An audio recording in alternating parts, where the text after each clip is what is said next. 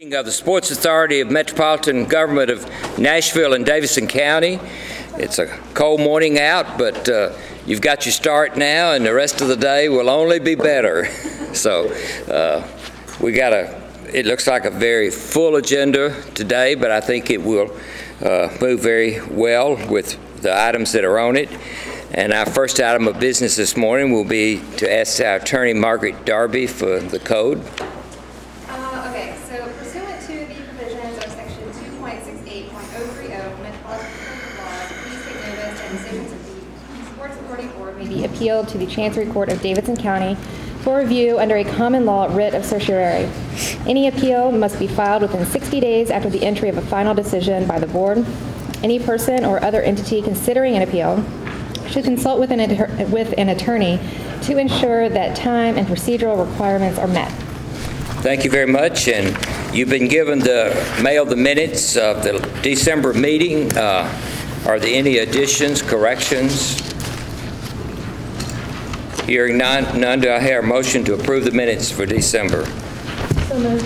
Second. Motion made and second, all in favor say aye. Aye. Minutes approved, uh, and we'll go to uh, Alfonso for the Sports Authority Ad Hoc Committee report, uh, which I want to compliment the committee. They work very diligently after being asked to do a job, and and uh, he will report on that this morning.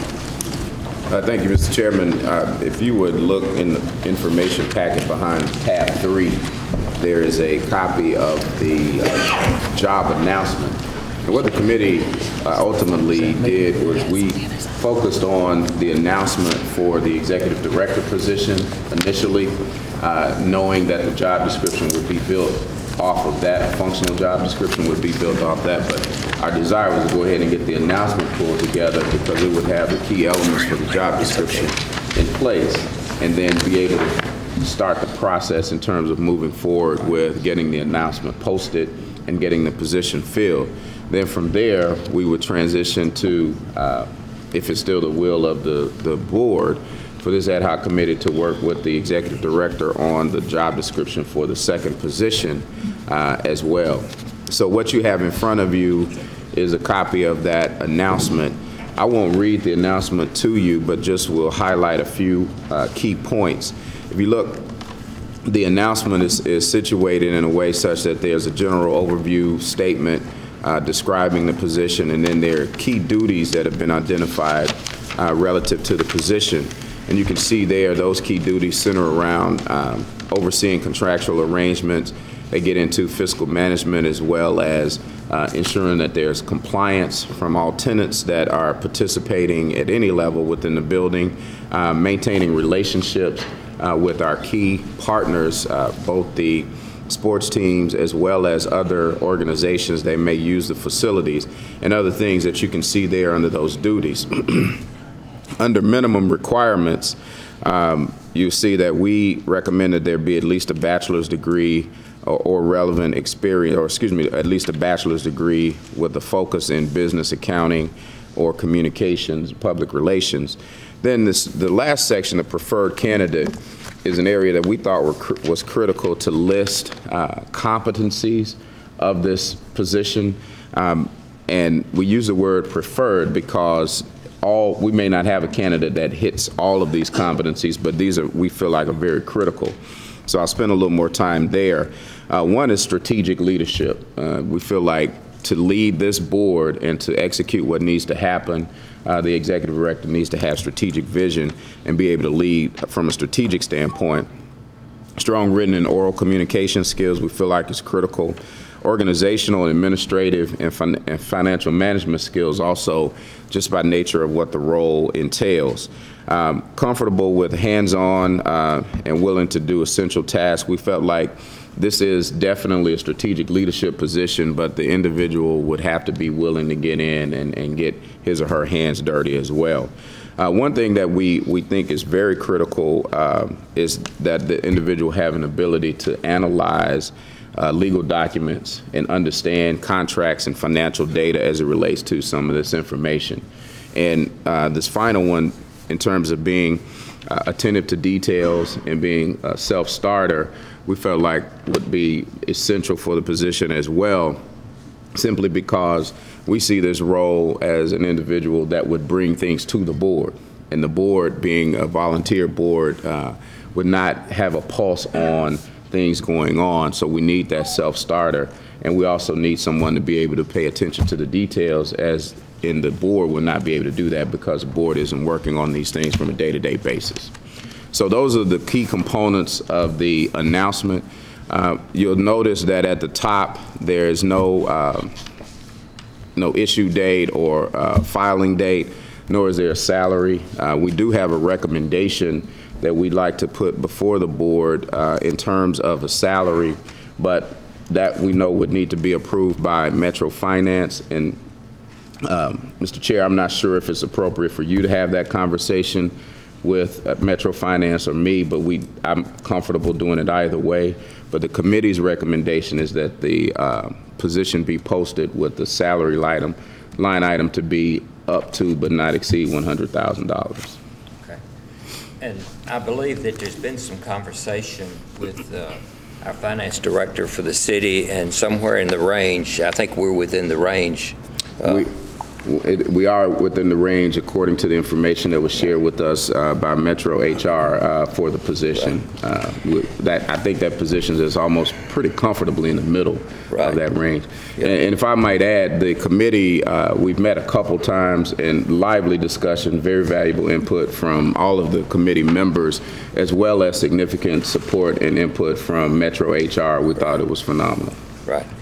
Well, I think you've done an outstanding job, the committee, and it's a very well-written uh, job uh, analysis, job description for the position, and uh, we're ready to, uh, unless someone has some questions or comments from the board, we'd be ready to post it uh, uh, and have Human Resources posted, and I believe that the requirement will be for, it stand for about seven days. We want to move this as quickly as we can, and it's been known for some time that uh, uh, this job was becoming available, so we need to get that done. Anybody have any comments about it, or would like to speak to the, uh, what the committee has done? I have a question. Is, is, is seven days, is that what we're going to recommend Right. to HR? Yeah, I think that's, Okay. I think we have to allow that much, and I think that's what we're going to ask them to do. I mean, we, it's their, it's their guideline, but we're going to stay with it. Okay. Yeah. So we would um, vote to approve this subject to Right. approval by uh, Metro Finance? Uh, yes, Okay. Thank you. Take care of that issue right now. okay, That's fine, I'm happy to talk to anyone. okay, okay. That's. We, we can take yes for an answer. I like being talked about it when I'm in my final room. I like to speak up. Okay, good. Thank, thank you, Rich, because that's important, because we want to, we want to get this taken care of, and that's very important. Okay, do I hear a recommendation?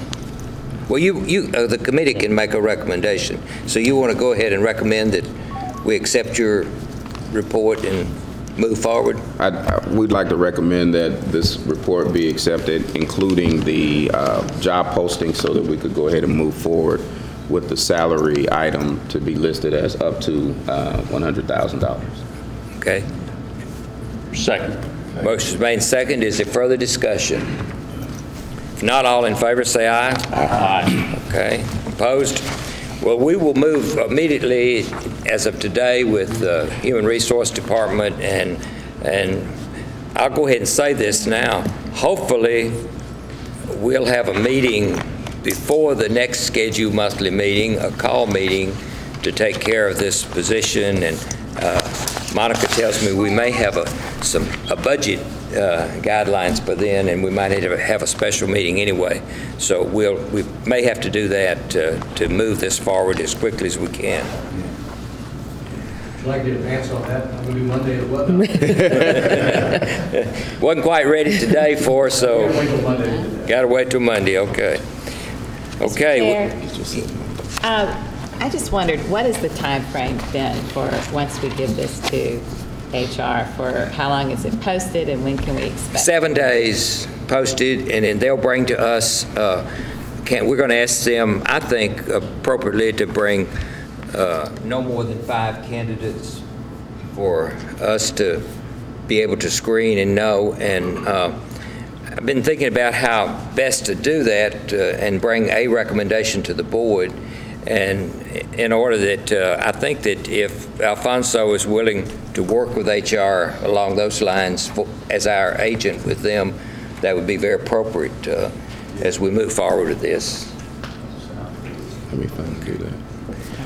Any other questions or comments? Just, just one last comment. Uh, We were informed by the uh, representatives from HR, who again did a fine job working with us, that if we post this for seven days, there will be several hundred applicants. And so they will help call that down to about five finalists for us. So that's, just want the board to know that's a significant amount of work that they will be doing on our part, on our behalf. And we're going to ask them to do it as quickly as they can, but we have to allow them the time they need to do it, Right.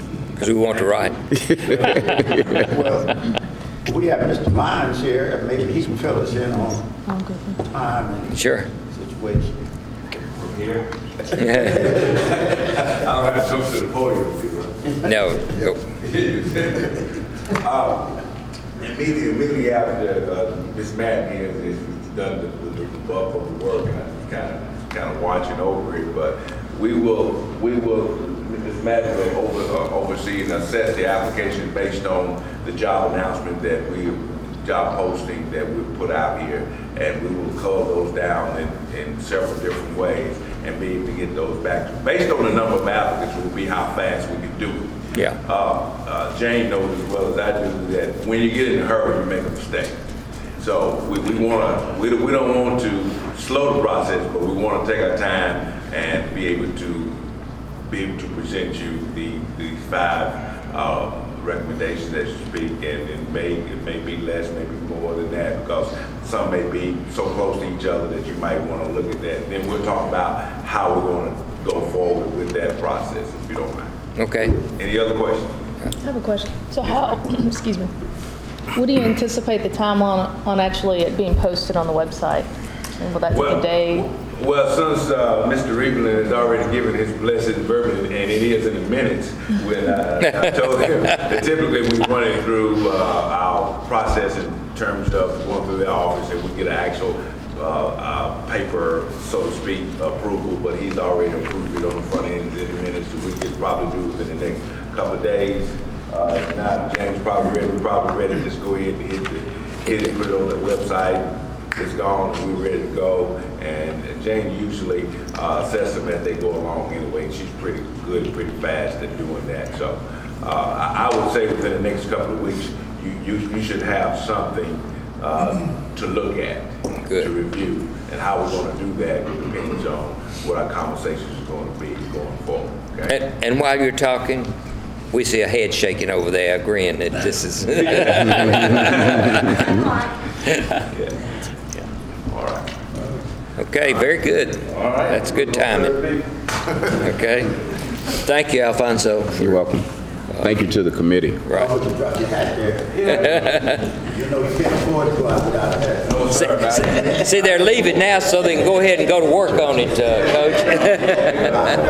Like, I'm working with you. Okay, some of you, uh, uh, hopefully all of you saw that uh, there's some things taking place here at Bridgestone that will make it much more uh, meaningful to the new uh, Music City Center, and there's going to be some improvements on the side here.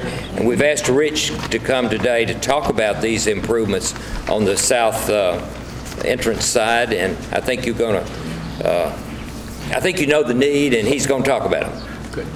Excuse me, thank you, Chairman. Excuse me? Yeah, be good. Uh, Just kind of, if you think about over the past year, I think we have made some significant progress in the phys- physical facilities uh, uh, of the- stadium and, and and here at the arena.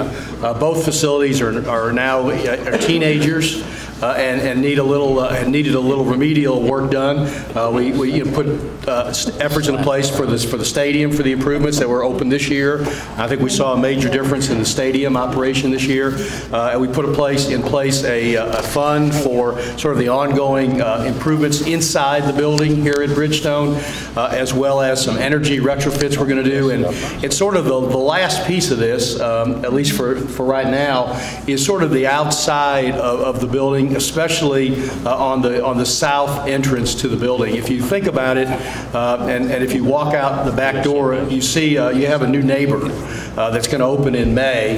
There's probably right at a billion dollars between the hotel, the Country Music Hall of Fame, the convention center that have been spent uh, in this downtown area. And- And it just seemed to us, as we were talking with the Predators and the man, team management, that the back, the- what- what's always been considered the back door of the arena needs a facelift. And and the building doesn't really need to have a front door and a back door, but it needs to have two front doors. And with 1,800 car garage at the convention center, you're going to see a lot more activity uh, of people coming into the building using the south entrance than we've seen before. And so we, we sat down with the Predators and started to th- think about what we could do i- within a reasonable budget to sort of fix up, the- to clean up, improve sort of the south side of the building. And what you're seeing are some very basic initial uh, artist uh, renderings of what uh, we think it could look like, with the idea being that we wanted to, to sort of blend in with the convention center across the street. Perhaps use some of the same limestone that's over there. I mean, we're still working on all the details, but so that when, when, when visitors come to town, public uses it. It's sort of a seamless building. There's, it's all one big, major new complex uh, for the city, and to do that, we need to spend a little money on the, ba- on, on what was the backside of the arena. And so what, uh, what the mayor has done is we've filed a, a, a spending request called a capital spending plan with the Metro Council, which basically authorizes us to spend um, $7 million uh, on, on the, on the, on the south entrance of the facility. Uh, We think um, uh, it's critical for the city. Obviously, we all talk about it. It is the city's building, uh, and we need to make investments in it. And if you look at the the renderings, I think you can see some of the, um, you know, a little more excitement that you're going to see. We- If you look at the front of the building now, uh, on hockey nights and other event nights, there's large crowds gathering, and it's a very festive kind of occasion. If you, if- if- this view here you see is right across, kind of looking from the convention center. There's going to be, uh, we're also going to spend some money on Fifth Avenue to improve Fifth Avenue from the blocks all the way from uh, uh, KVB all the way to Broadway. So it's really going to sort of become a whole downtown entertainment district is what it really is going to become. And, and we think just to open up the backside of the arena makes a lot of sense.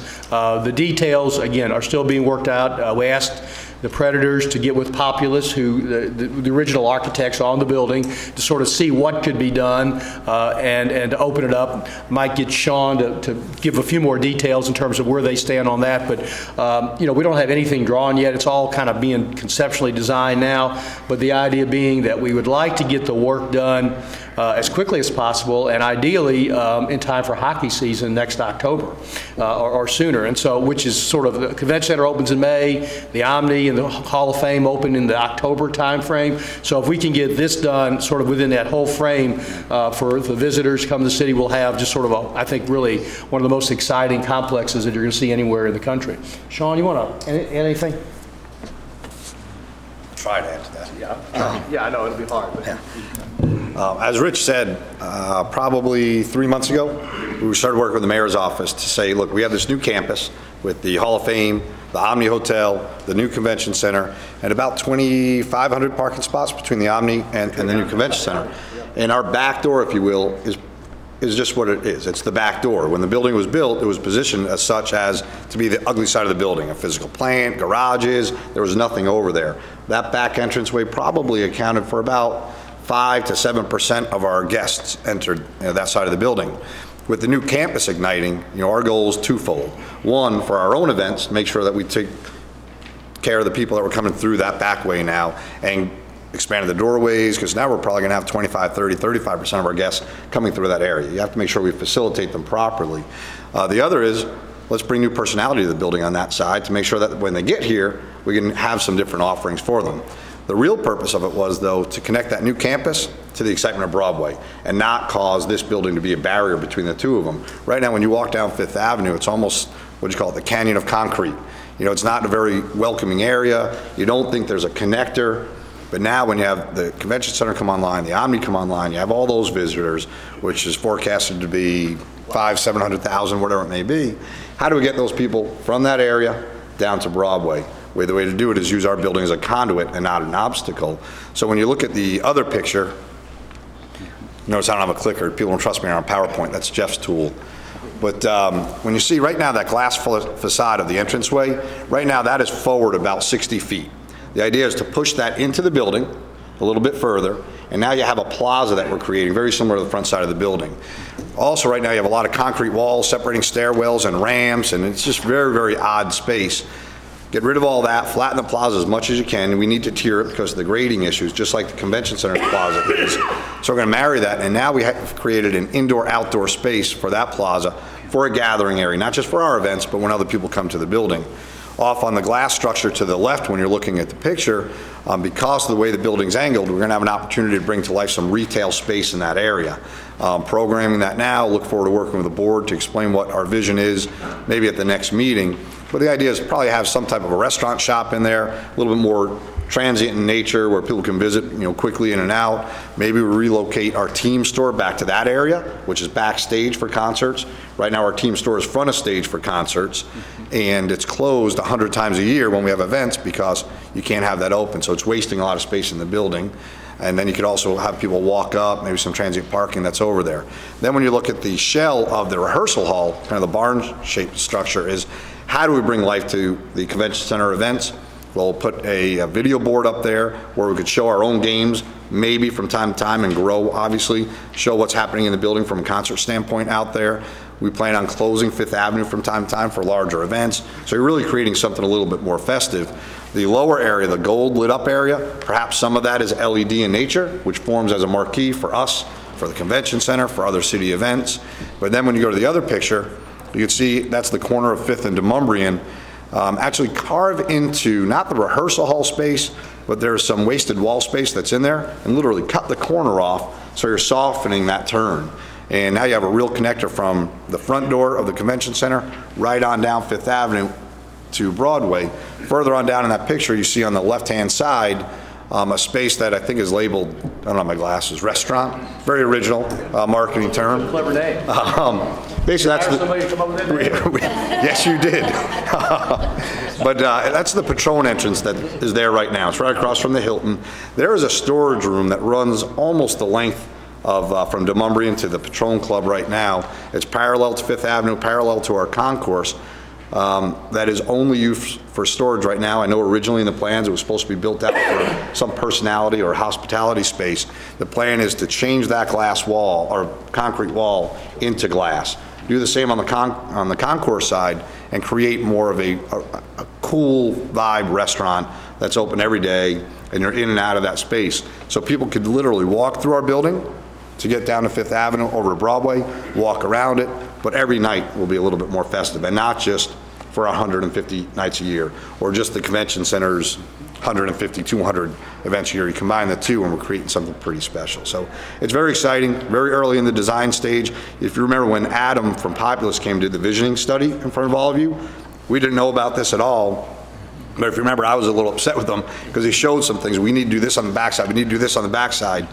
Said, well, Adam, it's great that you're doing that, but you know, where are we going to come up with all, you know, the the money? There's so many needs in the building, but this was part of his vision because of how people are going to change how they come into the building, so. Yeah, Just to, just to summarize, uh, you know, we obviously think it's critical to spend a little bit of money uh, to tie it into what, what's going on to, for the whole campus. Um, It's scheduled, uh, just as, for your, for your knowledge, uh, right now, the council is scheduled to vote on this on February the 5th. It's just a resolution, it's a resolution authorizing the expenditure of funds. Uh, And, uh, you know, we've heard no opposition, so we're pretty, you know, optimistic that the council will see it. It's, it's, as Mr. Elliott mentioned earlier, it's, it's mixed in with a number of projects, so it's not, it's not a standalone vote on just this project, but we proposed about $110 million worth of projects uh, citywide, ranging from stormwater projects to uh, the funding for the new Lentz Public Health Center, and this is part of that. Uh, It's, it's, you know, 7 million of the 110 million that were, that were being proposed to the council. And so uh, uh, we think that there's a a lot of support for it, and we're pretty optimistic that the council will vote on February 5th. And I think just going forward, what you'd see is that at your monthly meeting, we'd give you an update every month of where we are, kind of what it looks like, where we're going. Uh, We're still, we hadn't figured, figured out all the details about how we're going to do this in order to fast track it. We're kind of a couple different ideas because we want to make sure we move it along pretty quickly because we don't want it to drag. It'd be hard to be doing this work when hockey season especially starts. And so there's a lot of needs to, to make this thing move fast. So we're thinking about different ways to, to, to fast track the construction side of it, all of which we'll, uh, we'll come back and present to you at, subsequent meetings once Populous sort of figure, fi- uh, finishes its design drawings and then we start thinking about the uh, construction managing process and how we're going to go forward. So I think it's, you know, uh, again, I think this sort of completes what I think has been a pretty good year uh, for facilities, for our, for the Sports Authority facilities. I think as I said, they're teenagers now, and so we need to spend a little money on them. Uh, And uh, maybe if you spend a little money on them, you get good results back, and I think we're pretty pleased with, with, with with what, with how the money was spent at the stadium. I think the Titans did an excellent job in terms of managing that process and getting us a lot of, a lot of good for the money we invested. Uh, And I think with what we're going to do um, with, here in the building, uh, the same holds, holds speak. So uh, we're, we're optimistic, happy about it. I hope you uh, share it. Obviously, any questions, happy to answer, but obviously more details to come on the, on the specifics as we get into the drawing. So, thank you. Any questions from any? Yeah. Uh, First comment, I, I think this is great, uh, looks wonderful, I I applaud the vision and effort. I guess the question I have is, what is our role as a sports authority board in this? The process seems like it had already started Yeah. when, once we became aware of it, so I'm a little. Well, I think the the on what our role will be to to approve the plans as finally, I mean, you're going to sign off on the plans and, and and the process going forward. Uh, for- Because of council deadlines, uh, we, we had to file stuff before we could, we could get anything before the sports started. I know, I know- I know we reached out to Mr. Elliott as chair, he was out of town, so we had a little miscommunication there, I apologize for that. But we're simply council filing deadlines that required us to get something in the hopper in order to get the thing moving quickly, otherwise we'd have to wait until later in February or March, and then you start missing out on a couple, a week period. So I, I- you're, you're right, I apologize, not apologize, well, I do apologize, because it's always better to talk about it on the front end. Uh, But going forward, you're going to, I mean, you guys, like you do on all the approvals, all the capital budgets that are going to be spent by the other processes we put in place, you have to sign off on those, and those will come back to you for approval at your subsequent meeting. So you're, the final plans are really in your hands to sign off on. Okay, Thank you. Are there other questions? It's Okay, great. Yeah. Thank you, I appreciate it. thank you, Rich. Okay.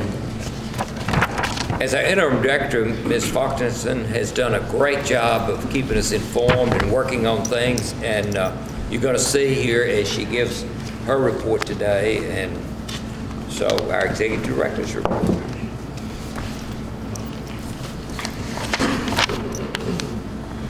Good morning. Morning.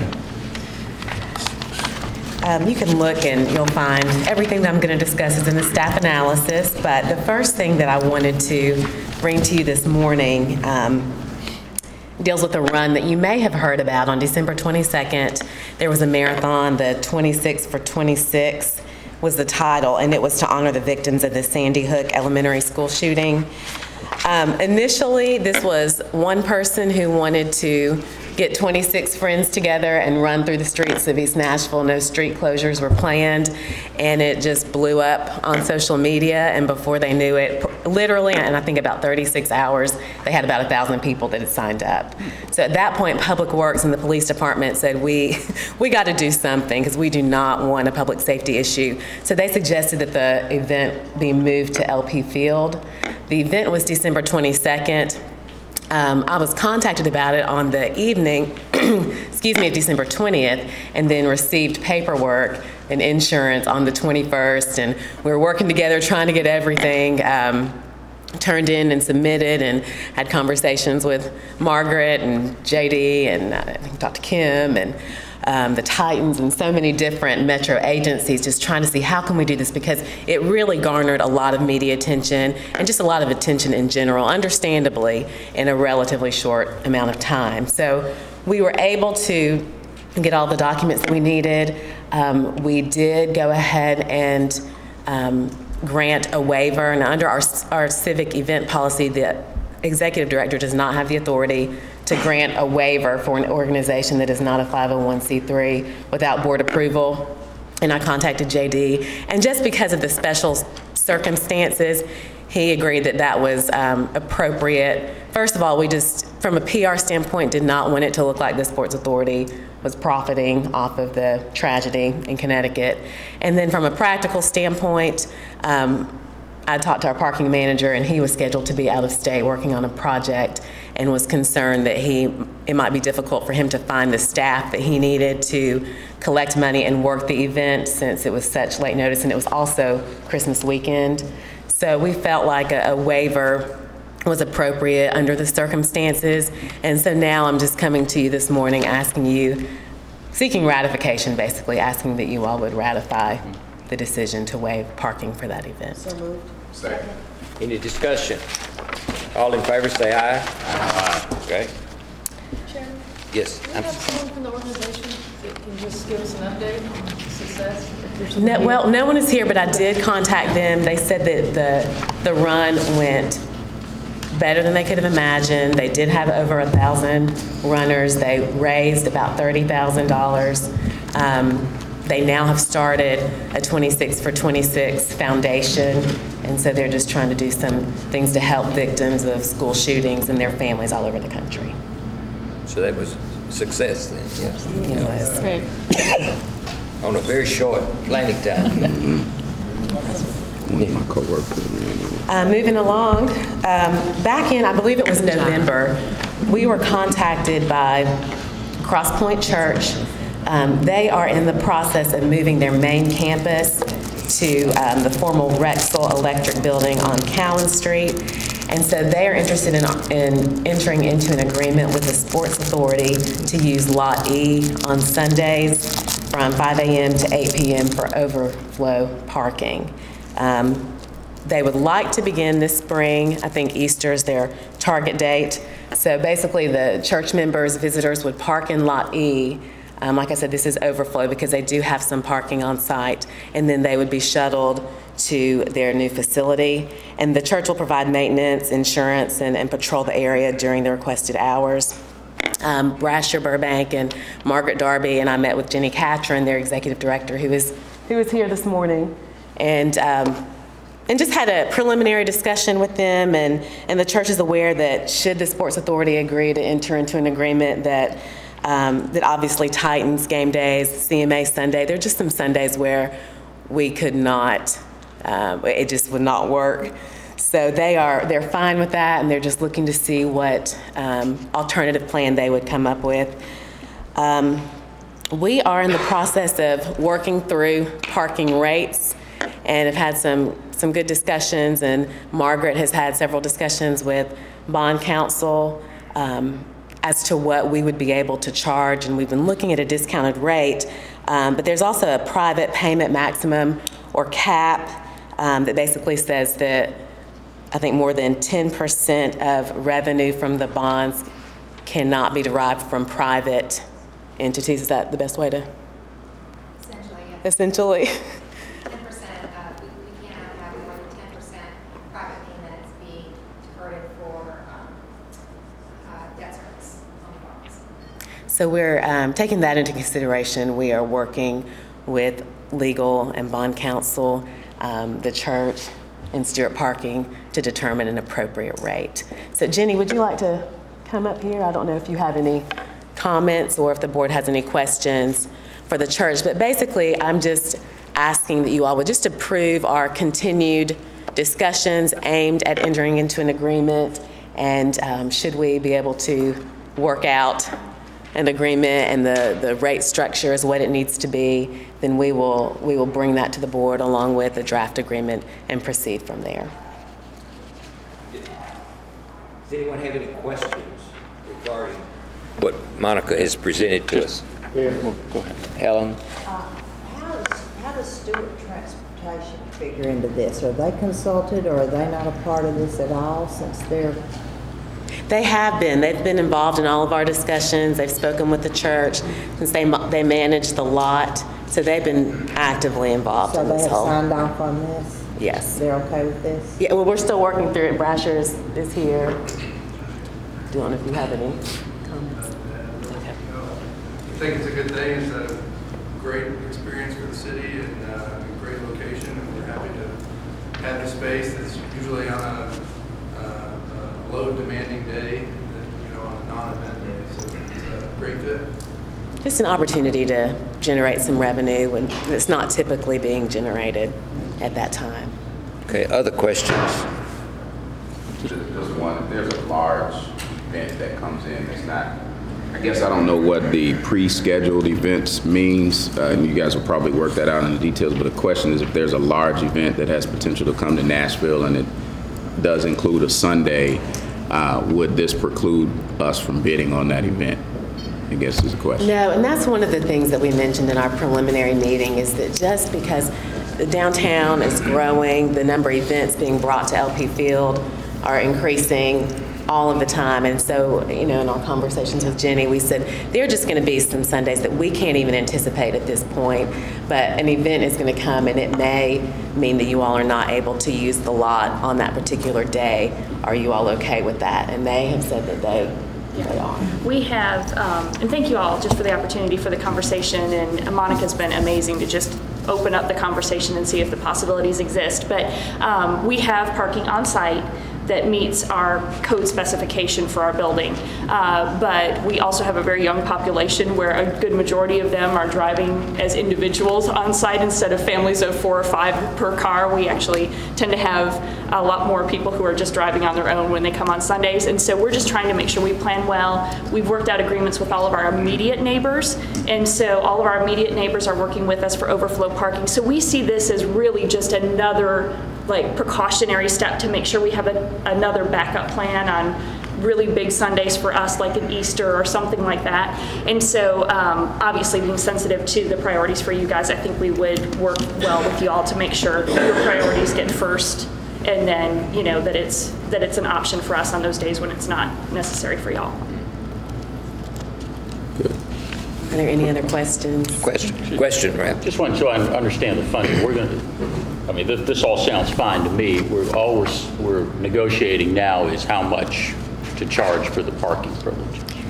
That's correct. And, this- and the amount that we can get is going to be capped because of bond considerations, right? Potentially, yes. So we, we kind of know where this is going to come out, don't we? Right, so as, as far as, uh, to give you an idea of what we're looking at in terms of parking, um, bond counsel, Metro Legal has advised that the Sports Authority should not receive more than $25,000 per year um, from parking to remain under um, that private revenue cap. So we're looking somewhere along the lines of maybe $1.75 per space. Um, But like I said, we're trying, we're trying to finalize that, and then we'll bring a a definitive figure back to the board. Well, uh, My thought is simply, since we know what, what the cap would be, that we're pretty much in a position to approve this and leave the the detailed negotiation to Margaret, uh, I'm, I'm sorry, to Monica, assuming that we stay under the cap, which we, which we need to, right? I mean, there- there'd be no need to to punt the decision i- if we're comfortable with that, would there? I wouldn't think so. Emmett, did you have a question? No, I I just wanted to agree, and if there was a motion to be made, I would make it at this time. Okay. I'll second Mr. Wynn's motion. Any other questions or comments? All in favor, say aye. Aye. Opposed? Thank you very much Thank for you. being here. Appreciate y'all. Thank you.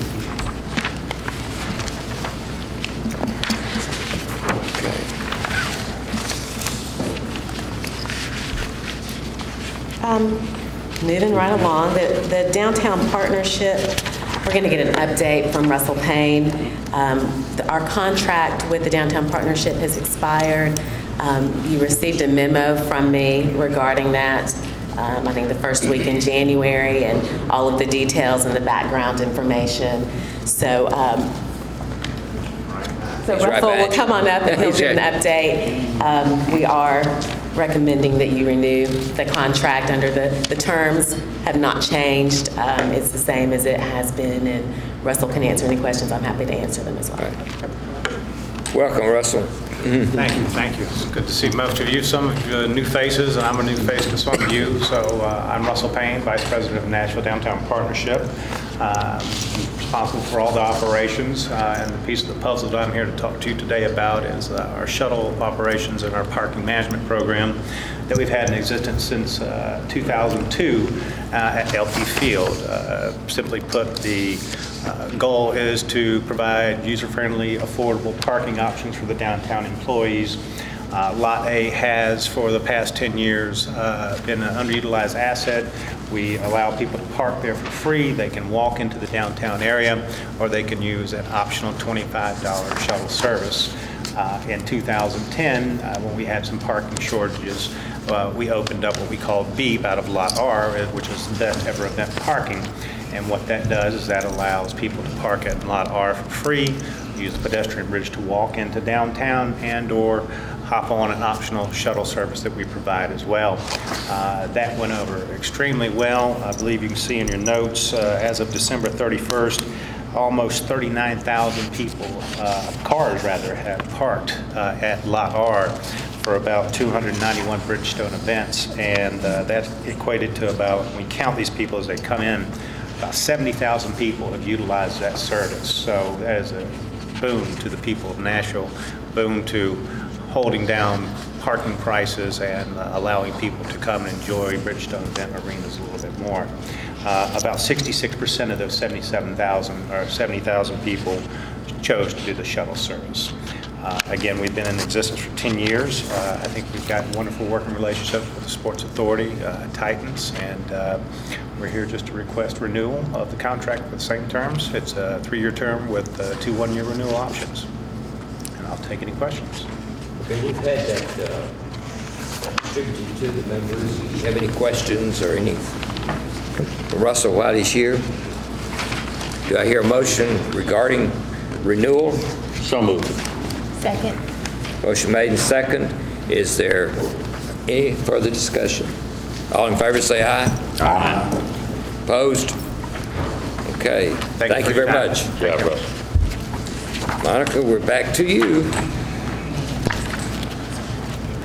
Solar charging stations. Solar charging stations. Um, I mentioned this at the December meeting, but on December the 5th, I received a letter from Oak Ridge National Laboratory notifying the Sports Authority um, that the solar electric vehicle charging stations that were installed at LP Field um, are designed, their functioning is designed, they're ready to be turned over to the Sports Authority. And so the Sports Authority needs to accept operational responsibility for the charging stations. That was part of the license agreement that we entered into with UT Battelle that said that we would, or the Sports Authority would accept operational responsibility once we received notice that the chargers were up and running and functioning as designed.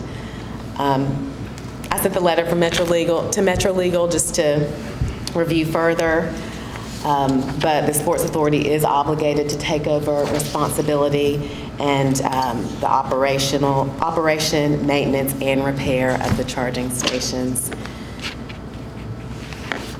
Basically, we just, we need to go ahead and, and accept that responsibility. I don't know if there are any questions. Um, One thing I do want to mention, and I've gotten a couple questions on, is what, what are we looking at um, cost-wise as far as the maintenance and the repairs? Um, We've had several discussions with, with Oak Ridge and with UT Battelle, and, you know, it's, it's a new project, so everyone's trying to figure out exactly what this looks like, and so there's not a, a concrete number, but based on um, my projections with, or my projections and my conversations with Oak Ridge and also with Brasher, we're thinking that it's going to be somewhere between $500 and $1,000 per month. Um, The program, and we're going to talk about this in a second, but the program is scheduled to end sometime between um, September 30th of this year at the earliest and March 14th of 2014 at the latest. At that point, when the project ends, then the Sports Authority will um, take control as far as ownership, and the title will be transferred to us. And then we have some options. Um, At this point in time, the chargers are not fee-based. I think we talked about this also at the meeting last month, so it's free. Um, The Sports Authority would have the opportunity to decide whether or not the charger should remain non-fee-based, or if we do want to charge. And um, Ecotality would also receive a fee along with that. And so that's some of the work that we're starting to do now, looking at pro- post, pro- pro- excuse me, post-project.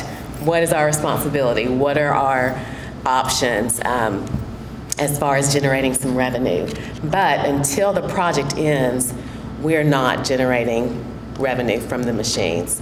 Um, So most likely, any maintenance costs, any repair costs, and all of those are expected to be, like I said, minimal, um, will need to be, they'll be paid for um, from Stewart because they operate and manage the lot, and then we would reimburse Stewart from our monthly reconciliation report, which is exactly what we're doing right now for our Comcast um, and some of our small operational expenses. So Monica, we've already agreed to, we've already agreed to this program. What you're asking for today is that we say, yes, we will take possession of them because they're working.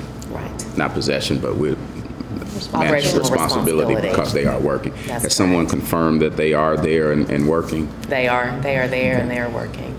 And I move for approval. Second. Okay, Any discussion? All in favor, say aye. Aye. Approved?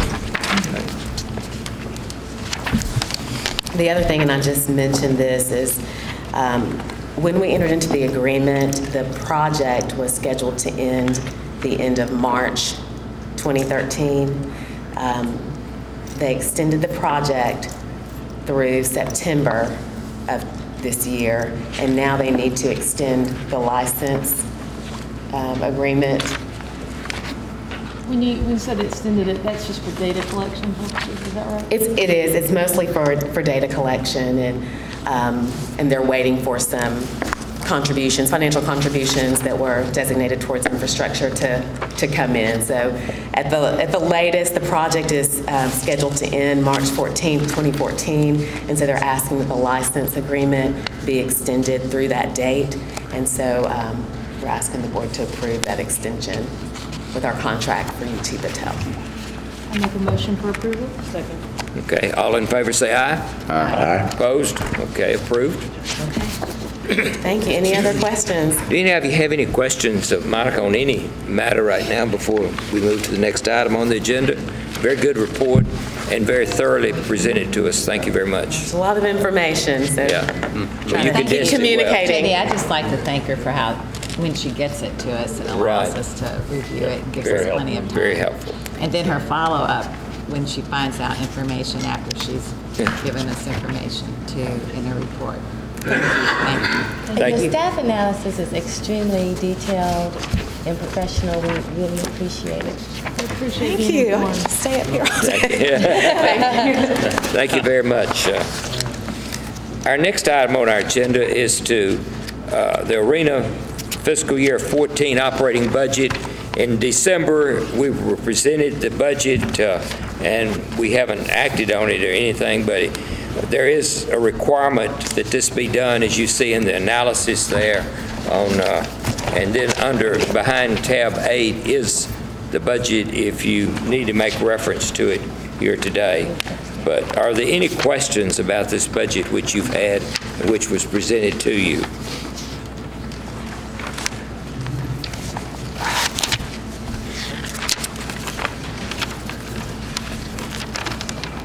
If not, we need to formally approve this uh, budget today. Motion- Motion to approve, Mr. Chairman. Second. Any discussion?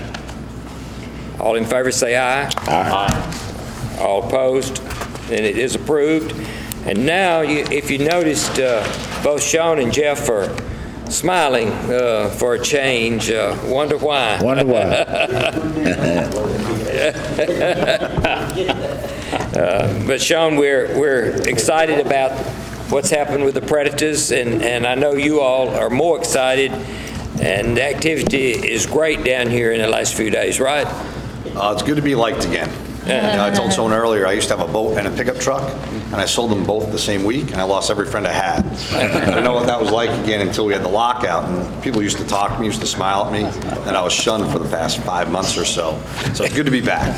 And, um, you know, that's why I wrote in, I think when I was doing the report for Monica to pass out, I think it was the day we announced the deal, right, that uh, we had, we're back. My original one was a little bit more inflamed than this one. Michelle asked me to take it down a little bit. But uh, we're obviously very excited about it, as the whole community should be.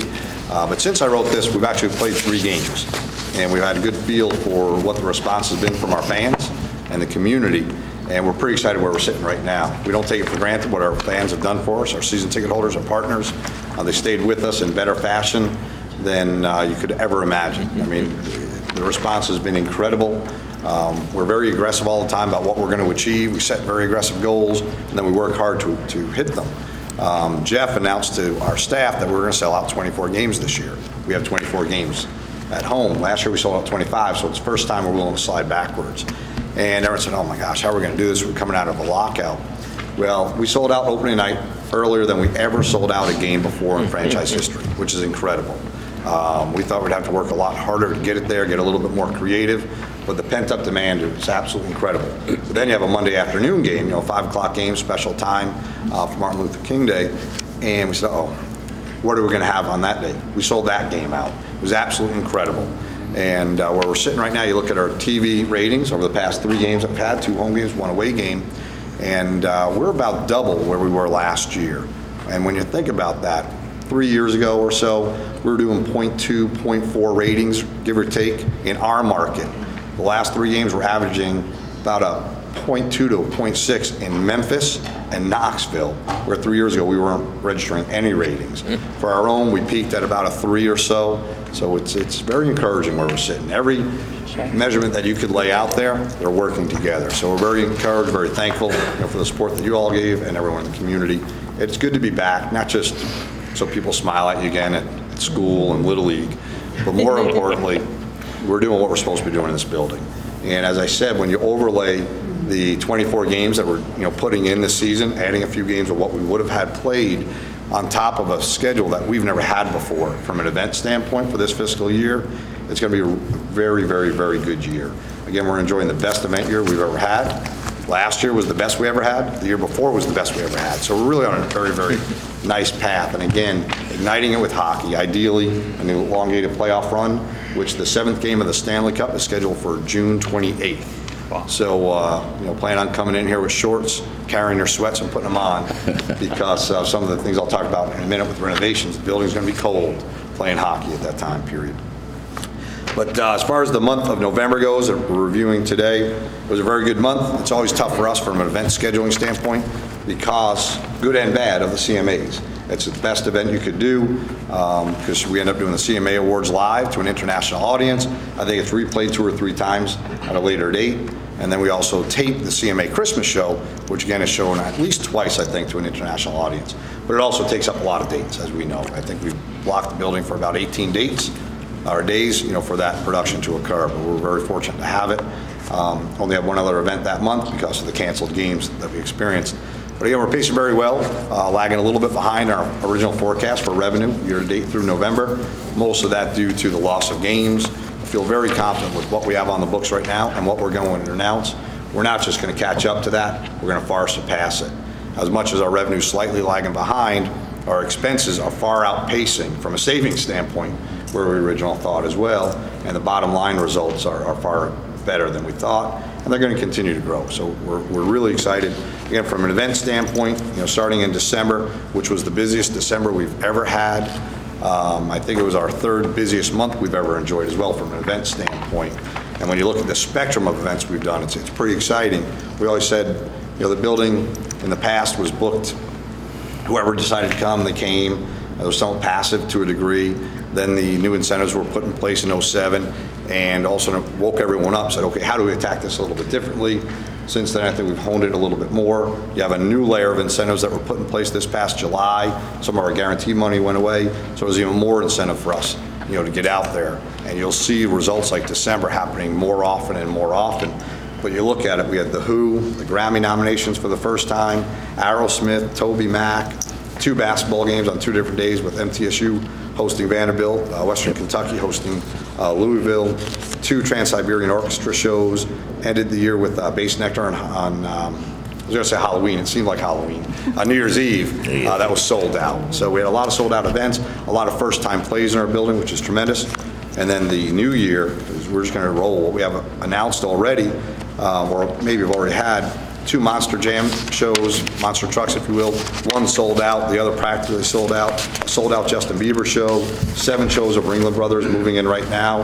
The past three years, we've grown our Ringling attendance by about 14, 15%. We're looking to do the same this year, which again, is almost defying logic, but it doesn't when you factor in where we were and how we're selling things now as one staff, one unit. When we had the lockout again, I think I told you all, we're going to be a better organization when it's over because of what we're almost forced to do by keeping all of our employees on, and that's bringing everyone together to make every event special. And we're seeing the benefits of it, especially in some of our family shows. We've got Shinedown, Shine Down, Winter Jam, uh, Raw, uh, WWE, Kid Rock, Pink, Bon Jovi, Lady Gaga, the SEC tournament, which is um, five nights at seven events crammed in there, 13 basketball games. Eric Clapton, Maroon 5, Elton John, Black Keys, Avett Brothers, One Direction. I'm going to go on and on and on. What else? we're going to have about five major announcements in the next few weeks. The first one was yesterday when we announced uh, the Rush Show coming back. That'll sell out. So it's not just that we're announcing all these great shows, we're selling them out, and we're doing bigger grosses than other buildings. The important part about that is I've always talked about, you keep building that wheel bigger and bigger, and you're showing more and more people that are looking at Nashville saying, you know, what's happening there? You know, I think we're the second smallest market in NHL, yet we're outpacing every NHL building um, that's out there for shows, you know, show to show, and that's pretty encouraging, and people are noticing it.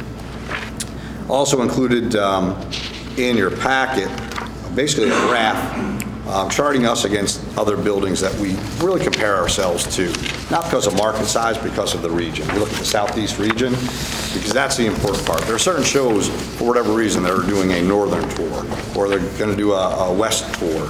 So it's important when we're tracking against the southeast buildings, what are those buildings getting that we're not, and how do we alter that? Once we crack that, and you start outperforming all of those buildings, then you can start saying, okay, how do we lure some of those tours that for whatever reason are not hitting the southeast and bring them down here? The important part about this graph, I think, though, is we captured it in over a nine-year period of time roughly. Three years prior to the new lease being signed, the first three years of the lease being signed in '07, and then the last three years, factoring in, you know, not so much the new deal, because it really hasn't hit effect of how we're booking things, but it's staggering when you look at where we were prior to that new lease that was done. You know, back then, we were, over that three-year period of time, we averaged as a 36th busiest building in America. The first three years coming out of the new lease, where you're just starting to put it into play and figure out how to alter your business philosophy and structure, and we were the 26th busiest building in America. The past three years, we're a top 10 building. We're the ninth busiest building in America. And when I met you all uh, two and a half years ago in my first meeting, when it wasn't that pleasant, to be honest, because we owed you so many reports and you should have beat up on us. I think Jeff said, uh, we're going to be the busiest building in America. And he probably laughed and you said, well, just get us our reports on time. Make sure the building's clean. You know, don't be so arrogant. That was him speaking. and, but we said we were serious. This is what we're going to do. And if you remember, and really for my own enjoyment or amusement, at the end of every monthly letter I write, I always talk about us being service and revenue animals. I've written about 30 of these now. I'm waiting for someone to say, you just copy and paste that? Well, the answer is yes. I do. But the reason is that is what we're trying to build. That's what we've become. We still have some work to do because until we're the busiest building in America, we have some work to do. The only building in this region that does a little bit better than we do right now is Atlanta. And, you know, they continue to do very well. But you look at the other buildings in the region, it's easy to say, well, every southern building is doing better now. The markets are better, the economy didn't hit them as hard, blah, blah, blah. But look at it, it's not the case. You have other buildings going backwards. You have some stepping forward for different reasons. But we're the, really the one building in there that are taking these huge, huge steps. So I want to thank you for doing what you did in '07, and then again, what you did this summer, because those incentives will allow us to continue to drive this. And it's pretty exciting, you know, for all of us. You have any questions at all about the report or finances, what we did for uh, November year to date? Very thorough with my last comment. so. You you say that other people are noticing that this board notices too, what you're doing in the arena and all the activity and what you're doing for our community, and I just want to thank you, Sean, it's great. I appreciate it. Thank you. It's a big team effort, so. uh, I'd like to give you an update on our capital improvements. Again, back, I guess it was in the July meeting or June meeting, I'm not sure when, we had Adam Stover from Populous, as I referred to earlier, basically go through a programming opportunity with our building. Looked at it without a budget, you know, what would you do with this building without a time frame? Well, here are the projects that you- you'd want to take on, and and I think what he drew up was probably 120, 150 million dollar worth of projects. Obviously, not going to do all of those, but it was basically, if you did everything conceivable, you know, these are some of the things that you should look at. The theme, though, was how do you bring new personality, new life to tired areas or old areas? And most importantly, how do you utilize areas that you're not utilizing now for their highest and best use? And that's what we're starting to do now. When we put together the SIF program or Capital Improvement Fund, um, really put us on a path to start knocking down some of the projects that you have approved over the past four or five, six years that weren't funded, and more importantly, how do we take on some new projects and what should they be? Uh, One of the first things we were doing were, I always call them the uh, environmental renovations, basically reworking our HVAC systems, installing dehumidification system, reworking our lighting grid, our lighting controls, our control panels, some of our plumbing systems, for a lot of reasons. First and foremost, the most important is so we can put our team on a consistent sheet of ice and put our fans in a more comfortable environment without renting equipment all the time. We're achieving that right now. The responsible part of it is we're going to be able to cut our energy use down in a dramatic fashion and just be better stewards of, of um, what we're utilizing. We're about halfway, maybe a little bit better than halfway through those renovations right now. If you remember, we started these, I think, in September. We had uh, SSR come a few times. Um, It really is a 12-month project that we put them on a nine-month schedule, that we have to do, we have to work around our events, push forward, and it's pretty exciting. Some of the plumbing work is done already, uh, from the HVAC work or dehumidification work. Um, They're installing the south side of our building right now. That'll be online in about two weeks. Once that's online, they move to the north end of the building, they start working on those quads, and by the time the playoffs start, normally when we're renting equipment and taking up the entire garage rooftop in temporary equipment, that works at about 50% capacity because it's in the elements, we're going to be up and running and operational. Uh, Right now, they just started the phasing of our lighting project. The first phase is putting new control panels in the building where we can zone the entire building, both in air conditioning and heating, but also in lighting grid. Uh, That's scheduled to be done in the next few weeks. The second phase of that is literally replacing most of our fixtures and how spaces are utilized. So it's, it's pretty exciting. That's going along very well. Um, What I wanted to visit on is a few projects that you've already approved in the past, but talk about them right now, and over the next few months, like to start looking at these projects, you know, bidding them out again, because some of them are fairly dated, but it, it's time now that we have some funds available and the lockout is over, um, that we should look at these, and really I wanted to resurface them, see if you have any other questions. We'll probably start on, on some of these over the next few months. Most of these will happen after hockey's over, just from a timing standpoint. Some maybe we start prior to that. The first one, if you remember, about three or four years ago, you approved a phone system um, upgrade for about $300,000, $350,000. And I'm always going to give this goal number, and obviously we work to operate underneath that. As we get our bids, we'll come back and report to you, give you an update of where we are. Uh, Two years ago, you approved it again. Uh, Someone reminded me, we don't have to approve these 50 times. Just do it when you have have the funds. And I think I was on the phone with one of the new board members when the phone system quit. I think it was you, Kim, um, about two years ago. And that still happens from time to time. This is a project we have to do for so many reasons. We've been very lucky to date that uh, our phone system hasn't failed yet during an on-sale.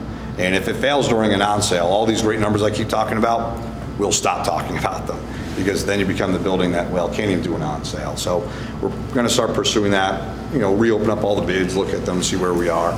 It'll probably end up being about $300,000, $325,000. Um, We're going to continue to renovate some hospitality space, but again, we're building a schedule around our, our event schedule. So that would include all of our suites. We've renovated about um, 16 or 18 of them already. Um, The idea is you're always in a state of renovation in areas. It's like painting a bridge. You never stop. Once you think you're done, you start back over again. But we want to schedule about 25 suites to get put in a grid to start knocking them down. Normally do them in two to four chunks at a time. That won't start though until probably May. We just continue to do that. We've allocated about $750,000 to the project. They're about $28,000 a suite. Um, Again, a few years ago, you approved enhancements in our dressing rooms, you know, for our performers, our production rooms, our um, performer manager rooms. Want to start on those again, probably in later spring, hopefully later than I'm anticipating because of a long playoff run. But some of these things we can start and work around our event schedules. It's about $150,000. Of that, $50,000 for the most part is FF&E, and about $100,000 is structural and physical, moving some walls, combining one dressing room, for example, to make it a true star performer room, something we're really lacking when you have an Elton John, when you have the Rush, when you have the elite of the industry coming, you know, to your building, you want to make sure you can put them in the same fashion they experience at Madison Square Garden and in Vegas and in Staples Center. Um, Some base building improvements, about half a million dollars. They would include, again, all these projects have been approved in the past, but I want to resurface them. Um, Reworking some of our guardrails and decking in the Arena Bowl, converting some of them to glass instead of the, the steel structures we have, or, or uh, iron structures and cable to improve visibility, reduce the number of obstructed view seats that we have right now. We have about 400 limited view seats now because of this, so that'll change that, give us a larger manifest to sell to, um, rework some of the decking, that is temporary decking, you know, that works in and around the boards when take the stage out. Again, ideally picking up some seats, but for the most part, we're doing it to have faster conversions and move things around. Um, About $150,000 planned to spend on intercals, as I call them. What those are are temporary seating that expands and collapses right into the fascia of the building all the way around. Um, That's becoming a little bit unworkable. For example, when we did monster trucks, normally that should take 15 minutes to take them in and out. They're electric, you hold the motor down, they come. Well, instead ours take about eight or nine hours to do because you manually need to do it. So we need to rework some of those motors, replace them and upgrade those, which allows for faster conversions. Um, Do some flooring repairs and improvements. As you walk in the concourse today, you'll see the great terrazzo flooring that we have. There are some patches in there that have holes just through enhanced traffic, um, some weather stripping, some expansion um, grid joints that, that are popping. Alter those a little bit so it doesn't ruin all the improvements we're doing in the basement down below where water's coming on through. Um, Continue to enhance our signage throughout the building, whether it be for floor seating or just bringing murals to life of who's performed here in the past. There was always been a signage approval virtually every year, and nothing was ever done underneath that. I think the old approval was for five or six hundred thousand dollars. I think, you know, we have a budget of about a hundred thousand dollars, and maybe you do that every other year so you continue to bring life to the building. And then the last one that was approved a few years ago, and this will be more of a design work, probably working in conjunction with the south improvements of the building, but that's replacing the marquee out front. Um, It's, it's fun to see that we have Ton On playing in March. That's supposed to be Elton John, or that we have a game on Er Day instead of Saturday. But it's one of those things that's virtually unrepairable right now. It's very dated. When it was installed, I think 15 years ago, it was somewhat dated. And the idea is that you go to live video, that you have slides, very similar to the CBB's marquee across the street. We'll work on that. But again, that's one, even though it was approved in the past, I'd want to bring back forward and say, hey, this is what the design looks like. What's your ideas? Those are the things we want to get you involved in a little bit more, just like Rich was saying with the South. That should mirror some of the things that we're doing on that side. We talked about using this building as a conduit for a connection from the new campus to Broadway. This marquee can bring that personality and draw, if you will, as, as well. Um, The one newer item that, uh, I think it was approved in the past, but I- I'm not sure. I've tried to go back through the minutes, and it's difficult, but um, replacing the carpeting in the building, in this room, in the hallway, on the club level, and on the suite level. I think in years past, it was approved to do the club level and the meeting rooms, but not the suite level, because the suite level is the responsibility of the Predators, not Powers Management. Obviously, with the new SIP program, it brings all those things together, as we're already seeing with the hospitality space that we started in the summer. So that'll be the one new one that I'd like your approval on. That's about a half a million dollars. And again, those are rough bid numbers. Then we have to go back through the science of actually bidding it, you build the decor with it, but that's the one that I would like to see new approval on, so we can start moving forward and getting bids and looking at the schedule upon it. So Those are our capital improvements that I want to start doing, you know, between now and, I don't know, next six months or so. But again, the approval that I would need is, is that last carpeting, I believe. If you have any Okay. questions about what our plans are or where we're, we're sitting, I'd like to talk to you. Any questions, anyone? Do you, do we need to approve then today, you think, for the carpet for the suites? Yeah, I think that's the one that needs approval. The others are more revisiting of things that are approved Okay. in the past. Um, This will be the first time we're really going into it, so we're setting the procedures now. I met with Bob Lackey last week to just walk through what we should do, and things that have been approved in the past, we don't need approval again, but if you want to give it, you can. But we'll- the way we see this working is when we identify a project or a scope of projects, we come forward and say, we want to build X, whatever X may be. The rough budget's going to be $100,000. You'll approve it or ask questions or ask to tweak, whatever it may be, and we'll go through that, and then I'll give you updates on how we bid it, who's doing it, why they're doing it, and where we are. Okay. What, now what's the figure that you're talking about? In this collection, the total number is $2.75 million. What what are you But looking about a at? half million for the, uh, The carpet. for the carpet. I'll make a motion Are- to carpet is half a million dollars. Are you looking at a document? No, I'm looking at my own notes. Oh. Motion made to, is there a second? Second. Discussion. I'm not sure I understand what we're uh, being asked to vote for and what he's going to come back and tell us later. So can we, can someone It's just- clarify that for me? Just to approve the carpet. As a new All- project. All the other projects we earlier approved. Already approved. All right, are we approving the cost? Or are we just giving you the go-ahead to start looking at? I the think you're carpet? approving the project with the Yeah. scope price of being approximately half a million dollars. And then what are you bringing back to us? I think what I'll bring back, you approve it, we start moving forward, we get bids, it's going to come in at $400,000, or it came in at $540,000, this is why, you need to reapprove that, and this is what we're looking to do. So What we you'll- don't want is 12 interior decorators, but I do want to bring everyone, so this is what we're doing, this is why we're doing it, this is what works, to answer more questions, and then lay the schedule a little bit more. So we're approving the project knowing the cost would be somewhere around mm-hmm. a half a million, and you will come back to us with Right. approval for the exact amount. Is that No. right? No. Or as long as it's in a half a million, then? That's, that's the way we see it, how the document works, that's how we worked out with Bob Lackey. But again, we're pretty approachable when people want to find out what we're doing and why we're doing it. We're having meetings, I think, every month again, so we can answer any questions you have. Okay, Okay, are there other questions? All in favor, say aye. Aye. Opposed? One abstention. Right, okay. One is, okay, the motion has been approved. Thank you. Any other questions for Sean? On the 7th, expect to see everyone there. I, I just had one question. Did you, did you talk to Monica about this before you brought the, the carpet? We talked about the carpet project? Right. No. We talked about capital projects coming before the board. I just really want to make sure that you able, you tell her so that it's part of the Right. staff packet, so that we don't have a situation where she's not informed about uh, something you're asking. I, I think it's on the agenda because it says arena Right. renovations, but Right. I'm not But the sure details that it. when you're asking for specific money, I want to make sure that it's on our. Okay, good. I'll do that. Thank you. All right, thanks. Okay, we'll move to the next report. Uh, Walter, are you still out there? Still here. Okay. Walter, we're glad to see you always. Mr. Chairman, this is a Just don't ask for second. money. I may. Good morning, Mr. Chairman, fellow board members, Margaret, Monica. I promise you I will not be long. I'll be rather brief.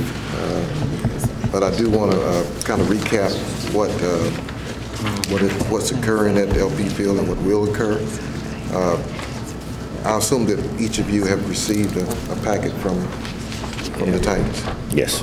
Okay, all right. Since our last uh, meeting, uh, we've had two football games, uh, which we ended on a very positive note, uh, beating the Jaguars, uh, which otherwise has been a rather disappointing season. Uh, However, I believe that uh, everybody within the Titans organization is working hard uh, to make sure that, uh, that everything is improved uh, during this year of 13. Um, I do, uh, I am excited about the fact that we did have the Music City Bowl there, very successful Music City Bowl.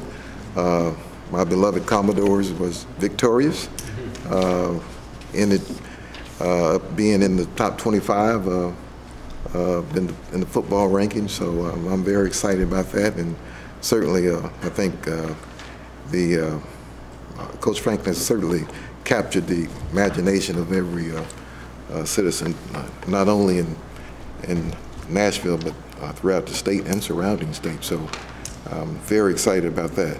Um, I do want to announce that on February the 13th, uh, the Olympic gold medal United States women's soccer team will be uh, playing at the uh, at LP Field. Uh, I'm sure all you are familiar with Hope and Abby, all the big name uh, women that will be here uh, that have been a part of it. Uh, we are doing a little weather dance and prayer to make sure that the weather is is uh, is, is fair, you know, and and hoping that uh, everything will go well. Tickets are moving. We're expecting to have hopefully somewhere around the, the 15,000 range, uh, which will certainly be a plus. We've had soccer matches uh, uh, every year since I've been a part of the uh, of the stadium, so it's something that we look forward to doing each and every year. Yes. Yes. It's uh, United States soccer team and uh, versus Scotland. Oh, okay, is this gonna be one match? One match. Is there any advertisement about it? Because Oh, yes. it always comes around, you know, we're scrambling to get tickets, but I Mhm. don't see a lot of advertisement. There's, there's been an advertisement, uh, uh, television, radio, uh, newspaper. You've seen it? Have you all heard? I've Y'all- seen it. Okay. Yes, it's been advertised. Uh, all the time in the car, so. Well, maybe that's the problem. I don't listen to sports radio. Uh, But uh, it will- we'll kick off at seven. Our parking lots will, uh, will open approximately around five and gates somewhere around 5:30, 6 o'clock. So we're looking forward to a, a big-time event. Um, Also, as you look at our calendar, that we always provide a yearly calendar, uh, in May, uh, May 4th, we are uh, looking forward to our second annual Mayor's Field Day, which was quite successful, the first event that we had there. and We're looking forward to having it uh, uh, be even larger uh, and have a lot more uh, participants that, uh, that will be at LP Field. Moving right along with uh, our casualty uh, lost uh, on tab two, uh, that has always, we're in the works of uh, trying to resolve that. Uh, uh, It is uh, is at a- around just slightly more than $7,000, uh, which we are in discussions with um, Metro Insurance to uh, make sure that everything is in line so that we can be reimbursed for that. Tab three is our ticket, is our ticket user fee fund, which shows the grand total of collections since uh, the uh, ticket tax was uh, implemented. Tab four is our capital fund, uh, which there, which you will see a detailed analysis of all of the capital funds uh, throughout the time that we've had it. Tab five is our unfiled reimbursement requests, which we have discussed, had discussions with, with Margaret and Monica and, and Bob Black, and we have set a date so uh, that we can uh, start discussing what uh, reimbursements that, that will be made back to the Titans. Our last tab is tab six, which shows our, uh, what projects that we have uh, going on in the stadium. Uh, We'd like to show you that so that you will always be informed with what we're doing, what we're working on, what has been completed, uh, so that uh, you will know uh, and, and uh, be informed. Okay? So y'all would be brief. Are there any questions that I can answer for you? Let me ask you a question. Uh, Yes, sir. How did you make out between the Music City Bowl game and your Titans game on the field? I mean, did you have any problems with that game being the day before? Uh, No, actually, uh, Coach, we had, we resodded uh, uh, in between the numbers uh, sometime in, in the middle of November, which really helped. uh, The field played well. I I think Coach Franklin had alluded to that he thought that, you know, the field would be sort of dirt or, or sort of like the Redskins feel as you saw it in that uh, playoff game. But it wasn't like that. It played very well. I think everybody was pleased with how it played. Um, We, we've done this before in terms of having back-to-back games, especially with TSU and the Titans. So uh, this was a, a very good uh, playing surface that we were able to uh, have. Other questions of Walter? Thank you very much, and Thank thank you for getting your report to us thank ahead of time so we could review it. Our bylaws state that uh, each January, we elect the officers for one-year terms, uh, and so this being our first meeting of the new year in January, it is uh, appropriate to uh, elect officers, and I guess I just open the floor then for nominations for chair for uh, 2013. Mr. Chairman, I'm pleased to nominate you for another term if you'd like one. Okay, we- you want to conduct that? Go ahead and Uh, Further nominations for chair? Hearing none. I'd like to make a suggestion that we just keep our same format of chairman, vice chairman, and, and uh, secretary or treasurer, or what is it? Is it the secretary? Secretary Treasurer. Secretary treasurer, yeah. Just uh, make one uh, motion. Well, thank you, Coach, but uh, be- I- I'm going to pass on the opportunity to seek another term as vice chairman simply because I've taken on some additional responsibilities with my change of job. So I will... I'll accept that. I I would, but uh, but I- I'm grateful for for the sentiment and and for the support. And he assures me he'll be active on our authority. I- Indeed, I, I plan to remain a member. If you'd like me to continue to be active, particularly on capital improvements of both LP Field and Bridgestone, I'm happy to do that. But I think this is a good time to dial it back just a bit so I can pay attention to my day job. But having said that, uh, the the motion on the floor is that we re-elect uh, our chairman to another term. All in favor, please say aye. Aye. Opposed? Abstentions? Mr. Chairman, the the chair is yours. Okay. Thank you very much. And uh, I have enjoyed serving, and- and only because of the good work that our staff does and the board does. And uh, we had a kind of a tough year with uh, Emmett's untimely death and having to go through that process for a period of time. But with your suggestions and with the materials that we're getting, and Margaret's been very helpful with, and, and others, uh, it's, it's, it's a great to serve, and I appreciate you all's confidence, and I'll open the floor for a vice chairman. I'd like to nominate Kim Atkins.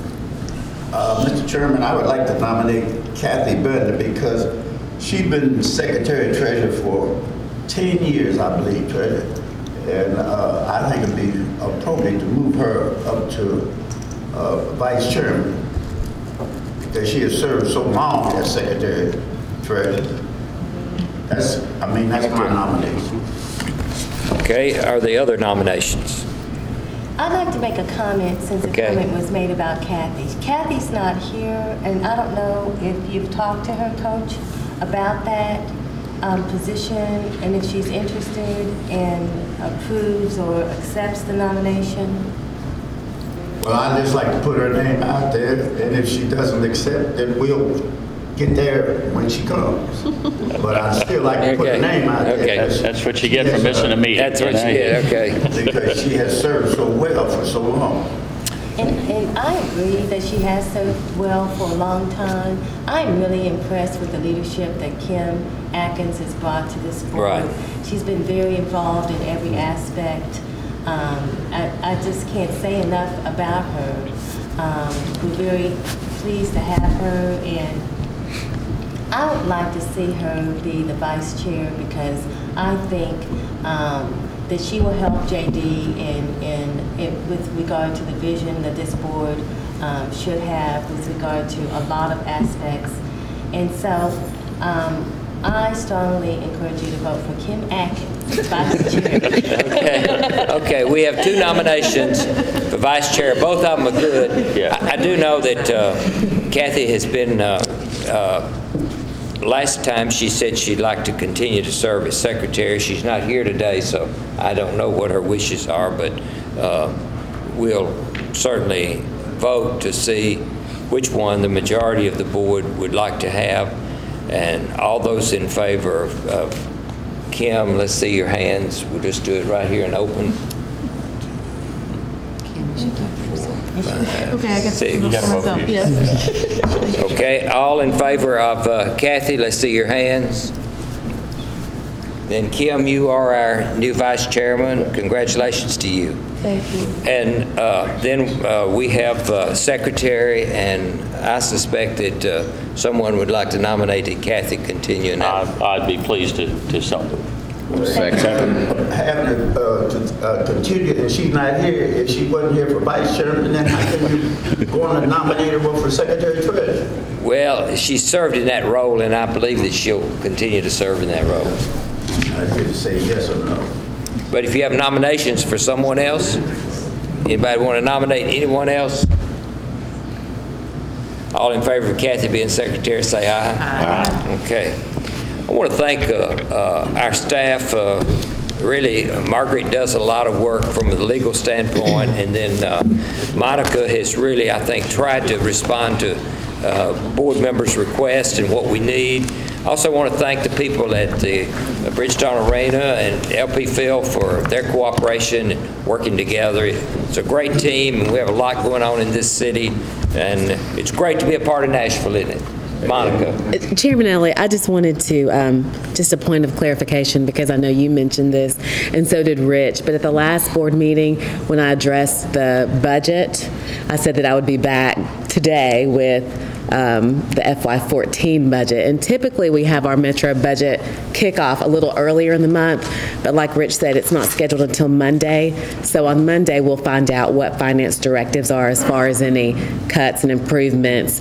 And depending on the deadline for submission into the Metro system, it may require a special call meeting to approve, for you all to approve our departmental budget. Right. Thank you for reminding me that. That, that is true. Just, just a few days, uh, we would have had it, but uh, we don't have it today. Any other business today? Anyone have? Okay, have a great day, everyone. The meeting's adjourned.